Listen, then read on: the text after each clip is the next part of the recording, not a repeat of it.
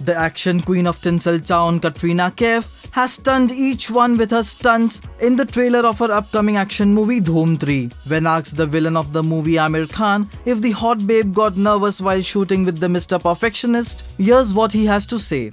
And the scene in which uh, Katrina has to put her leg on your shoulder. Ah. She must have been nervous. How many takes did she have to do? Actually, Katrina is a fantastic dancer. She is extremely flexible and supple.